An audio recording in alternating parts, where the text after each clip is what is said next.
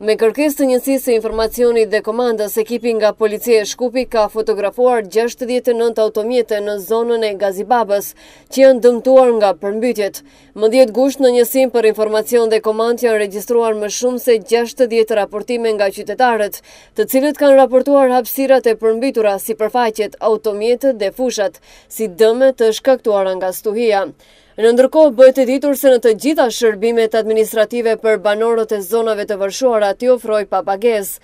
Prej sot, Ministria e Punëve të Brendshme do t'i ofrojë shërbimet civile administrative pa pagesë për të prekurit nga zona që u përfshinë nga vërshimet. Nxjerrja e dokumenteve personale si letërnjoftimet, pasaportat, patentë shoferët për këtë kategori, do të realizohet pa pagesë. Ministria për Punë të Brendshme është në shërbim të qytetarëve. Mos hezitoni, drejtohuni në zyrat e Ministrisë për Punë të Brendshme.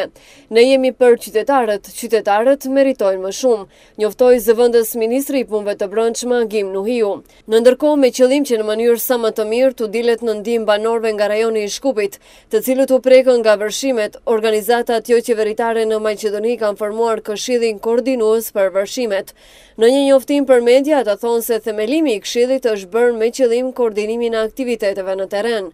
Ndërkaq, Agjencia për Ushqim dhe Veterinari apelon tek pronarët e kafshëve që të paraqesin kafshët e ngordhura apo të zhdukura tek ky institucion ose tek veterineri i familjes nga shoqata kompetente veterinare me të cilën kanë lidhur marrëveshje.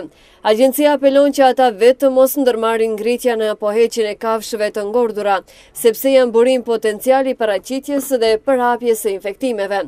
Nëse kanë dijeni për kafshë të ngordhura nga vërshimet, qytetarët duhet të informojnë veterinerët zyrtarë të cilët janë në kujdestari nga ekipet e stacionuara në pikat në vendbanimet Inxhikovë dhe Creshovë dhe në shkollat fillore 25 maj në Hasanbeg dhe Kirili dhe Metodi në fshatin Stajkovc.